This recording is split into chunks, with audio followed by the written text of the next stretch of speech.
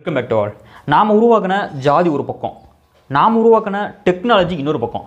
எந்தெந்த இடங்களில் இந்த ஜாதி மிஸ்யூஸ் பண்ணப்படுதோ அந்த இடங்களெல்லாம் இந்த டெக்னாலஜி பேஸ் பண்ணி உலகமே விஞ்ஞானத்தை புரட்டி போல் நினச்சிட்டு இருக்கு. ஆனால் இங்கே பாரு ஏன் ஜாதி ஓன் ஜாதி இன்னும் சண்டை போட்டுட்டு இருக்காங்க அப்படிங்கிற இந்த வாசகத்தை கண்டிப்பாக நீங்கள் கேட்டிருப்பீங்க.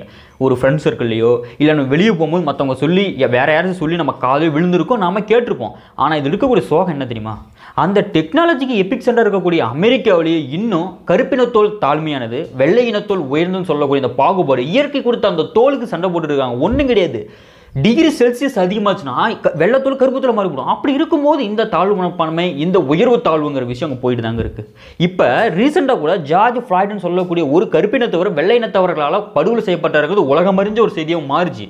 அது மட்டும் இந்த சம்பவம் இப்போ மட்டும் கிடையாதுங்க. பல வருட காலங்களாகவே நூற்றுக்கணக்கான கருப்பினத்தவர்கள் வெள்ளை கொலை செய்யப்பட்டிருக்காங்க. ஆனால் ஒன்று மட்டும் சொல்லுவேன். ட்விட்டர் ஹிஸ்ட்ரியிலேயே ஒரு இறந்த ஒரு நபருக்காக போடப்பட்ட டேக்குகளில் அஞ்சல் செலுத்துறதுக்காக போடப்பட்ட டேக்குகளில் நம்பர் ஒன் டேக் ஜார்ஜ் ஃப்ளைடோட டேக் தான். பிளாக் லைஃப்ஸ் மேட்டர்னு சொல்லக்கூடிய ஒரு டேக் சிங்கிள் டே ரெக்கார்டாக எண்பத்தெட்டு லட்சம் பேர் ட்விட்டரில் ட்ரெண்ட் பண்ணியிருக்காங்க. ஹோல் ரெக்கார்டே பார்த்தீங்கன்னா அஞ்சு கோடி பேர் அவரோட டேக்கை ட்ரெண்ட் பண்ணியிருக்காங்கிறதையும் தெரிஞ்சுக்கோங்க. இன்றைக்கி இதை மட்டுமே மையமாக வச்சு இந்த கான்செப்டை மட்டுமே மையமாக வச்சு இன்றைக்கி இந்த வீடியோவில் அமெரிக்கா பற்றின ஒரு ஹிஸ்ட்ரி ரொம்ப இன்ட்ரெஸ்ட்டாக இருக்கும். செகண்டு அமெரிக்காவில் இருக்கக்கூடிய பாப்புலேஷன்ஸ் பற்றின ஒரு சில இன்ஃபர்மேஷன்ஸ் ஒரு சில விஷயங்கள் அதில் இருக்குது அதுவும் ரொம்ப பிரமிப்பாகவும் ஆச்சரியமாக இருக்கும். அமெரிக்காவுடைய வரலாறுல முதல்ல பார்த்துருவோம். சிம்பிளாக ஊரில் இருந்து சொல்ல போகிறேன் அமெரிக்கான்னு சொல்லக்கூடிய அந்த ஒரு இடங்களில் முதல்ல குடிபெயர்ந்தது ஆப்பிரிக்காவிலேருந்து வந்த கருப்பினமும் கிடையாது இங்கிலாந்துலேருந்து வந்த வெள்ளையினமும் கிடையாது. இந்தியாவிலேருந்து போனால் சுத்தமான நல்ல மனித இனம் தாங்க. நிறைய பேருக்கு தெரியும். மூணு மாத நெடுங்கடல் பயணத்தை தொடர்ந்து கிறிஸ்டபர் கொலம்பஸ்னு சொல்லக்கூடிய ஒரு நபர் ஆயிரத்தி நானூற்றி தொண்ணூற்றி ரெண்டில் அமெரிக்காவில் என்ட்ரானது அமெரிக்கான்னு சொல்ல ஒரு இடத்த கண்டுபிடிச்சான்னு அதுவும் தெரியும். ஆனால் இது எத்தனை பேருக்கு தெரியும்?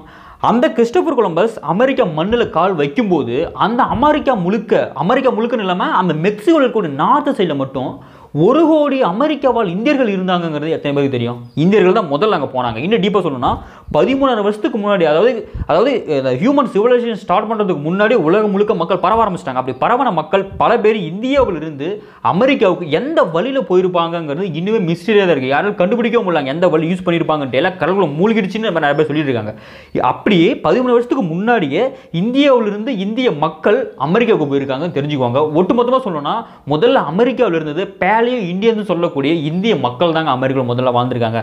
அதுக்கப்புறம் கிறிஸ்டபர் கம்போஸ் வரவுக்கு அப்புறம் தான் இன்னும் நிறைய பேர் வர ஆரம்பிச்சாங்க. ஃபார் எக்ஸாம்பிள் இங்கிலாந்துலேருந்து வெள்ளை இனத்தை சார்ந்தவங்களும் வர ஆரம்பிச்சாங்க. கருப்பு கருப்பினத்தை சார்ந்து வர ஆரம்பிச்சாங்க. அவங்க வர அவங்க வர ஆரம்பிக்க வர ஆரம்பிக்க அங்கே இந்திய மக்களுடைய அங்கே இந்தியன்ஸ் அந்த பேலோ இந்தியன்ஸுடைய கவுண்ட் அவங்களோட சதவிகிதம் டிக்ரீஸ் ஆக ஆரம்பிச்சது. இதன்படி தான் இப்போ அமெரிக்காவோட வெள்ளை இனமும் கருப்பினும் அதிகமாக வாழ்ந்துட்டு இருக்காங்க. ஆனால் ஒரிஜினலாக சொல்லணும்னா இந்திய மக்கள் தான் அங்கே அதிகமாக வாழ்ந்துட்டு இருக்காங்கிறத தெரிஞ்சுக்கோங்க. இப்போ வாங்க அமெரிக்காவில் இருக்கக்கூடிய பாப்புலேஷன்ஸில் சில விஷயங்கள் இருக்குது அதை பற்றி பார்ப்போம். பாப்புலேஷன்ஸில் வெள்ளை இனம் இந்த அளவுக்கும் கருப்பு இனம் இந்த அளவுக்கு கருப்பு தோல் இனம் இந்த அளவுக்கு இருந்தாலும் இதில் இருக்க இப்போதைக்கு இதில் இருக்கக்கூடிய ஹிடனில் என்ன தெரியுங்களா? வெள்ளை இனத்தோடைய population's percentage year to year கம்மியாகிட்டே தான் இருக்குது கருப்பினத்தோட பாப்புலேஷன்ஸ் பர்சன்டேஜ் கான்ஸ்டண்ட்டாக இருக்குது சில வருடங்கள் ஸ்லோவாக இன்க்ரீஸ் ஆகிட்டே இருக்குது இருந்தாலும் வெள்ளை இனத்தோடைய பாப்புலேஷன் டிக்ரீஸ் கவுண்ட்டு இன்னும் கருப்பினத்தை நெருங்கலினாலும் இந்த இடத்துல இருந்தாலும் இன் ஃபியூச்சரில் வெள்ளை இனத்தோட பாப்புலேஷன்ஸ் கவுண்ட் கருப்பினத்தை விட கீழே போயிடும். கருப்பினத்தோட பாப்புலேஷன்ஸ் கவுண்ட் கொஞ்சம் கொஞ்சமாக இன்க்ரீஸ் ஆகி உயர்ந்துக்கிட்டே இருக்கும். இது மட்டும் கிடையாது இப்போ வரைக்கும் அதிகப்படியான இம்மிகிரன்ஸ் அதிகப்படியான இம்மிகிரன்ஸை கொண்டு உள்ள நாடு அமெரிக்கா தான். அதிகப்படியான மக்கள் வரவை கொண்டு உள்ள நாடு அமெரிக்கா தான். இன் ஃபியூச்சரில் இது இன்னுமே அதிகரிக்குங்கிறது ஒரு ஸ்டாட்டிஸ்டிக்ஸ் படி வந்திருக்கு. இதன்படி கண்கூட பார்த்தோம்னா அமெரிக்காவில் வெள்ளையினத்துடைய கவுண்ட் டிக்ரீஸ் ஆகிட்டு இருக்கும் கருப்பினத்தோடைய கவுண்ட் இன்க்ரீஸ் ஆகிட்டு இருக்கும் தெரிஞ்சுக்குவாங்க ஃபைனலாக நான் சொல்ல வர்றது America not only live in white peoples that also English try பண்ண முடியல.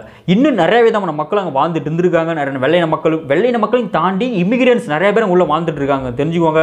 வெள்ளையின மக்களுக்கு மட்டும் அமெரிக்கா சொந்தம் இல்லைங்கிறது தான் இது ஒன்று கண்கூட சொன்னது. அதையும் தாண்டி இந்தியர்களும் அங்கே வாழ்ந்துருக்காங்கிறதான் சொல்லிக்கிட்டு இந்த விட நான் முடிக்கிறேன். வழக்கம் போல் மற்றவங்களுக்கு ஷேர் பண்ணுங்கள் எனக்கு மிகப்பெரிய ஹெல்ப்பாக இருக்கும். அடுத்த வீடியோக்கு மோட்டிவாக இருக்கும். அது வரைக்கும் அடுத்த வீடியோவில் வந்து சந்திப்போம். Will June